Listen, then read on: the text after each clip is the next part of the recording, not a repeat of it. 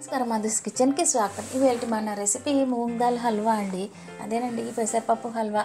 ఇది మన ఆరోగ్యానికి ఎంతో మేలు చేస్తుందని. పూర్వకాలం నుండి కూడా శుభకార్యాల్లో దీన్ని తప్పనిసరిగా చేసేవారు. అట్లానే దేవాలయాల్లో కూడా భగవంతునికి నివేదన చేసి వచ్చిన భక్తులకు ప్రసాదంగా కూడా దీన్ని పెట్టేవారు అనమాట ఈ చలికాలంలో మనం ఒక్కసారన్నా సరే దీన్ని తినాలి అని చెప్పేవారు. దీనికోసం పెసరపప్పు పాలు చక్కెర నెయ్యి ఉంటే చాలండి. ముందుగా పెసరపప్పు తీసుకొని దాన్ని కాస్త డ్రై రోస్ట్ చేసుకోవాలి. చల్లారిన తర్వాత దీన్ని నాలుగు గంటల సేపు నాననివ్వాలండి. నానిన పెసరపప్పుని మంచిగా శుభ్రం చేసి మిక్సీ జార్లో వేసి మెత్తగా పేస్ట్ చేసుకోవాలి.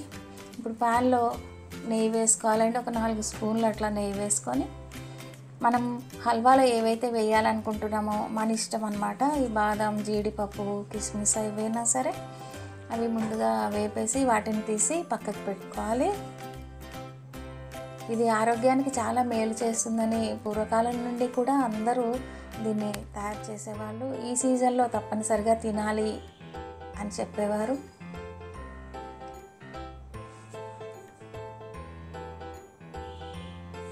మన శరీరానికి ఎంతో మేలు చేస్తుంది అని కూడా చెప్పేవారు అనమాట ఈ మిగిలిన నెయ్యిలో ఒక టేబుల్ స్పూన్ శనగపిండి ఒక టేబుల్ స్పూన్ ఉప్మా రవ్వ కూడా వేసి వేపాలండి. ఫ్లేమ్ లోలోనే పెట్టుకోవాలి. లో ఫ్లేమ్లోనే ఉండనివ్వాలి.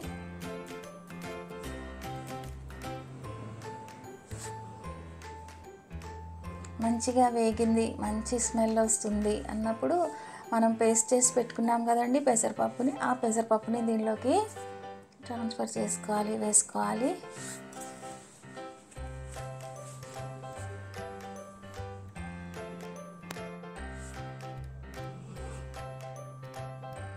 బాగా కలిపేసేయాలన్నమాట. అట్లా మనం కలుపుతూనే ఉండాలండి. ఇది డ్రైగా అయిపోతుంది. మళ్ళీ కొద్దిగా నెయ్యి వేసుకుంటూ అట్లా కొద్దిసేపు మనం దీన్ని పెసరపప్పుని వేపుతూనే ఉండాలి. ఈ పేస్ట్ని కొద్దిగా నెయ్యి వేసుకోవాలి అట్లా.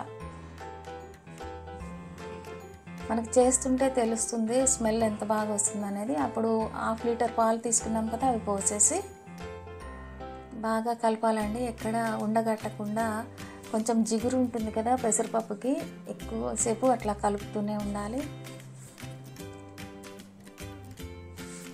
కొద్దిగా సాఫ్రాన్ ఉంటే కూడా వేయచ్చు.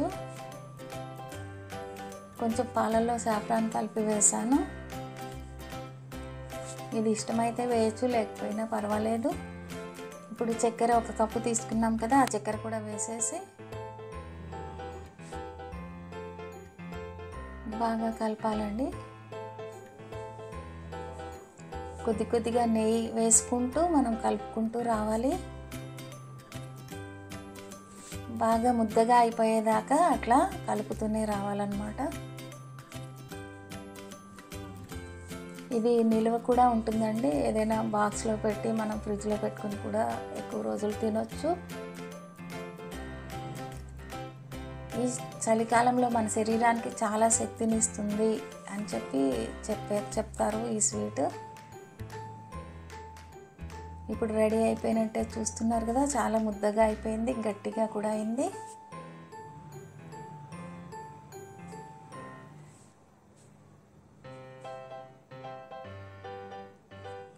ఇప్పుడు కొద్దిగా ఇలాచీ పౌడర్ చల్లేసేసుకోవడమే ఇంకా.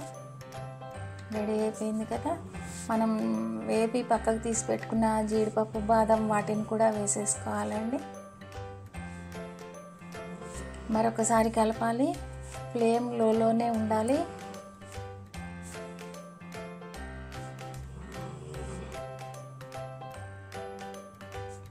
చూస్తున్నారు కదా మంచి కలరు మంచి స్మెల్ ఆరోగ్యానికి మంచిది. మరి ఇలాంటి రెసిపీ మీరు కూడా ట్రై చేయండి.